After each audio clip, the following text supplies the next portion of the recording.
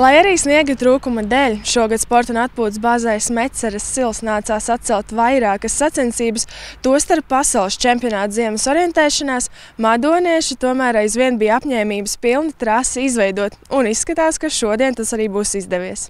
Otradien no rīta pāris stundas tika ražots, un tad vakar, vakarā izdevās sākt pulkstenis deviņiem, līdz ar to 15 stundas sniega ražošanas, un nu, gandrīz kilometra trasīte būs tapusi.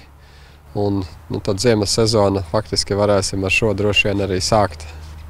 Gribētu pateikt arī paldies Rēķakalnam, kuri tā kā šoziem neražos sniegu aizdeva mums divus sniega lielgabalus. Līdz ar to šonakt mēs varējām strādāt nevis ar četriem, kas mums ir mūsu rīcībā, bet ar sešiem sniega lielgabaliem, nu, kas par reāli metriem 300 šo trases garumu arī palielināja. Šo sezonu Smeceres silā šī jau ir trešā sniega ražošanas reize, bet atšķirībā no iepriekšējām ar panākumiem.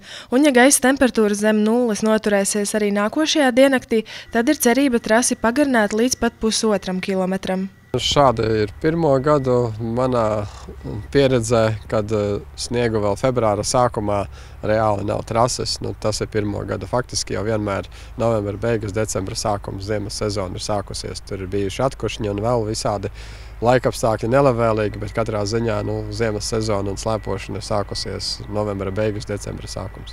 Pēc nedēļas, 15. un 16. plānojam, ka varētu šeit notikt arī pirmās sacensības uz slēpēm šogad Latvijas čempionāta sprintā. Meteorologiem viedokļi par augstumu saglabāšanos ir dažādi, tāpēc Gunārs Ikaunieks aicina braukt uz Smeceres silu, slēpot un izbaudīt ziemu, kamēr mums vēl tā ir. Ramons Zariņelvis, Cāzars Vidzemes televīzija.